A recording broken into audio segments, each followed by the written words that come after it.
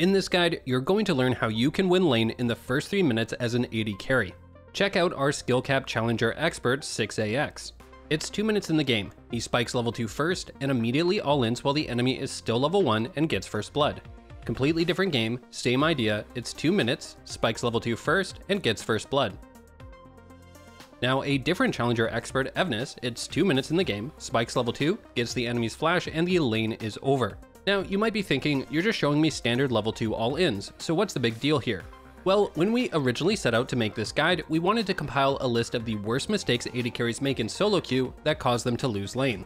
However, after coming through dozens and dozens of replays ranging from gold to high diamond, something became very apparent. Over 90% of AD carries just lose their lane in the first 3 minutes. And what we found was that this was due to the exact same reason. They really don't understand how to play the first 3 levels of the game. As a quick side note, this guide comes directly from the only place that has a rank up guarantee because it works, skill capped. Learn more at the end of this guide. So if you want to start crushing your lane like a challenger smurf, it all begins with this one fundamental concept. When you enter lane level 1 as an AD carry, you have one singular goal. Every single time, pretty much no matter what, it's to get the push advantage. By a push advantage, we simply mean have more minions alive than the enemy.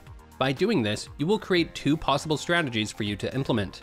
The first is the most exciting and is the level 2 all-in we showed earlier.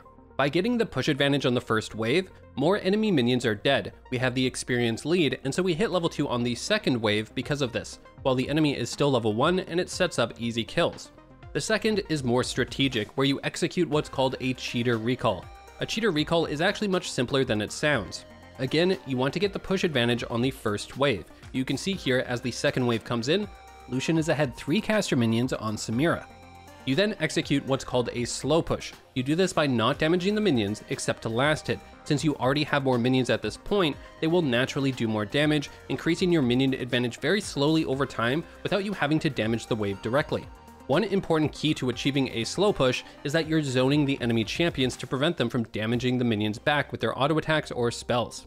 And this is why getting that push advantage at level 1 is so important as an AD carry. You will either spike level 2 first or threaten the level 2 spike, which then zones the enemy from the wave since they will still be level 2. You can then use this timing window to only last hit, and slow push the wave causing a much bigger wave than normal to build up over time. Then once that third wave arrives, which can be recognized by there being a siege minion, you then hard push or what's called crashing the large wave by damaging the minions as much as you can. This large wave that you crash into the enemy tower then buys you the extra time needed to recall, get an item advantage, and head back to lane without losing practically any CS. And from a high level, the first 3 minutes of the game are really that simple. Your goal as an AD carry is to get the push advantage level 1, and then either execute a level 2 all-in or a cheater recall on the third wave. And yet, despite this sounding really easy, over 90% of AD carries from gold to diamond still fail to do this. Why? Well, let's find out for ourselves. Here's a gold Tristana. She enters lane and is able to get the push advantage at level 1. She has 3 more minions heading into the second wave. Now, if I were to ask you in this moment, should you go for the level 2 all-in or execute that cheater recall? I bet that you wouldn't know the right answer. In fact, not knowing this answer is why you're failing to win lane as an AD carry. So let me explain. In order to execute a level 2 all-in, we often want to start damaging the 3 melee minions of the second wave as fast as we can. This is what lets us hit level 2 as early as possible, and is what catches the enemy off guard and lets you get a kill. If instead you look to execute a cheater recall, you will build up a slow push on the second wave, and this gives the enemy a lot more time to realize they have a minion disadvantage and that you're going to spike level 2 on them. What this means is that when executing a cheater recall, you often lose the element of surprise and miss out on potential level 2 all-ins.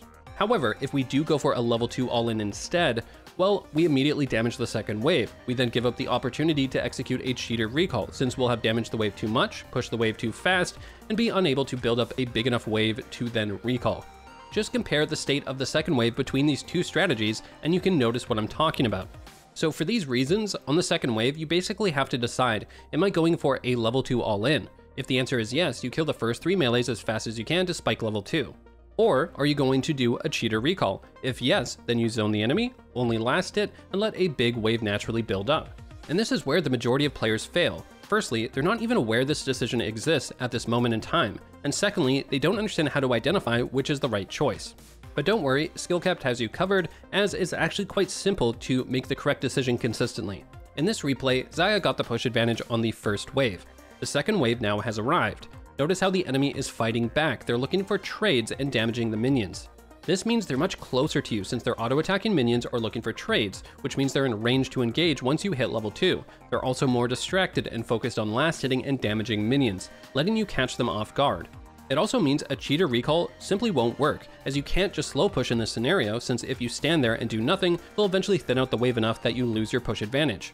So when the enemy starts trying to fight back on that second wave, it signals to you to kill the melees as fast as you can to spike level 2 and go for the all-in. That seems simple enough, but what if the second wave arrives and the enemy is playing extremely passive and safe, not damaging the wave or going for trades? Well, in this case, there's no reason to rush down the melee minions in spike level 2, as the enemy is signaling to us that they're just going to play too safe for us to engage on them. In this scenario, you punish their safe play by executing a cheater recall and getting an item advantage. Alright, so we're now going to test you on what you just learned with real solo queue examples, but first, let's quickly recap. As an AD carry, your goal is to get the push advantage on the first wave. Once you achieve this and the second wave arrives, you then decide whether to execute a level 2 all-in or a cheater recall. Go for the level 2 all-in by rushing down the melee minions if the enemy is trying to contest your push and is fighting against you. Go for the cheater recall if the enemy is playing safe and passive. Alright, so let's go back to that gold Tristana. You get to lane, get the push advantage on the first wave, great.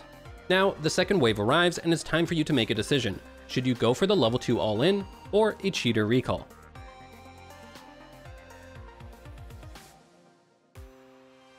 We can see the enemy Samira is fighting back against us by damaging the minions, so we know to go for a level 2 all-in. We now want to damage the melees as fast as possible, and we can see Tristana doing this, and yet she spikes level 2 first and is unable to do anything with it. Why is this? Well, let's rewind. She does a good job damaging the first two melees as fast as she can, but then suddenly swaps to kill a caster minion instead of just rushing down the last melee minion. It's three melee minions, not two melees and one caster, that will spike you level 2 on the second wave and so you can see how this buys the enemy those extra few seconds to recognize they're going to get level 2 all-in, so they start playing much safer. Now let's check out a gold Ezreal. He arrives in lane and is able to get the push advantage at level 1. The second wave arrives, we now know it's time to make the decision. So do we go for the level 2 all-in, or a cheater recall in this scenario?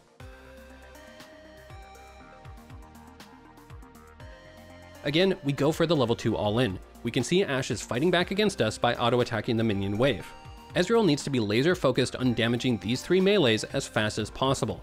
Instead, what do we see? He barely damages the wave at all, not recognizing the level 2 all-in opportunity. Even worse is that the enemy Ashe still falls for the level 2 all-in anyways, just showing how strong this strategy is, and then Ezreal doesn't even engage despite being level 2 to her level 1. Moving on, we have a gold Kai'Sa. She arrives in lane and is able to get the push advantage level 1. Great. The second wave arrives, and now let's pause. Should we go for the level 2 all-in or a cheater recall?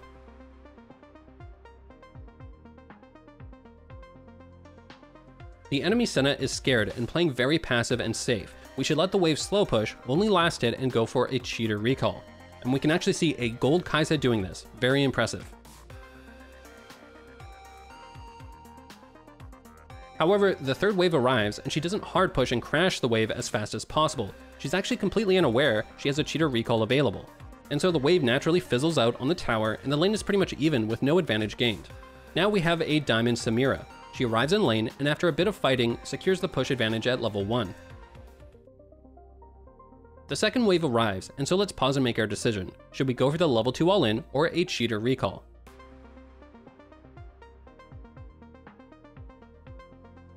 We see the enemy is scared and now playing safe and passive, not contesting our minion advantage, and so we should execute a cheater recall.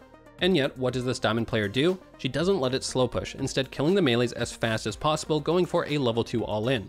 And here is a great example of why you don't want to do this. The enemy was playing safe, and so there's no all-in available. And so now she's pushed the wave too fast, the minion wave gets within tower range, killing her melees. Additionally, she wasn't able to build up as many minions compared to if she slow pushed. Executing a cheater recall is no longer possible. Her minion wave is much smaller than it needs to be. The wave is also much closer to the enemy's tower, meaning she can't zone them while she crashes the wave, letting them push back and thin out the wave from safety. This actually results in her getting frozen on and falling behind 10 CS at the 4 minute mark. So as you can see, these two strategies we're teaching you are really the main determining factors on who wins the lane.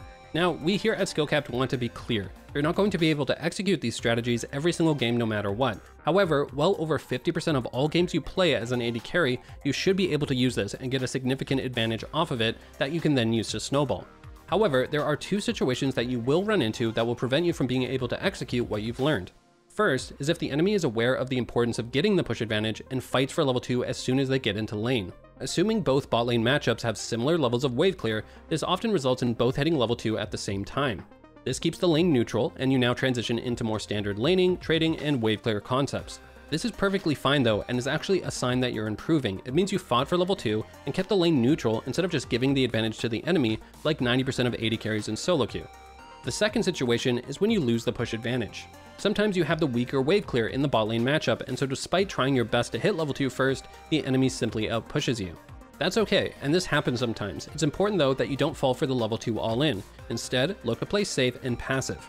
99% of players you face in solo queue won't know to execute a cheater recall in this scenario, and so you'll be able to just play safe, let the wave crash, equalize in levels, and play the lane out from a neutral state moving forward. Alright guys, before we recap, as promised, I just want to quickly talk about how crazy our rank up guarantee is over at skill-capped.com. If you don't climb 5 divisions while actively using skillcapped, you can get your money back. That's like a gym membership guaranteeing you'll get ripped. They'd go bust if they offered that, right? Well, not us. We've offered this for years because our service works, and if it doesn't, don't pay. Check us out today for access to over 1900 guides, 750 live Smurf commentaries, and instant coaching. Alright, so let's quickly recap what you've learned. Your goal as an AD carry when you first enter lane is to get the push advantage on the first wave.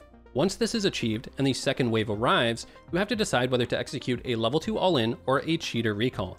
If the enemy is fighting back against you at this moment, either by damaging the minions or trying to trade, look to execute a level 2 all-in by killing the 3 melee minions as fast as you can and catching them by surprise.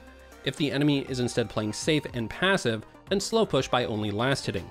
Then, once the third wave arrives, which has a siege minion in it, hard push the wave to crash it, and then recall and return to lane with an item advantage. We here at Skillcapped want to thank you for watching, good luck on the Rift, and we'll catch you in the next one.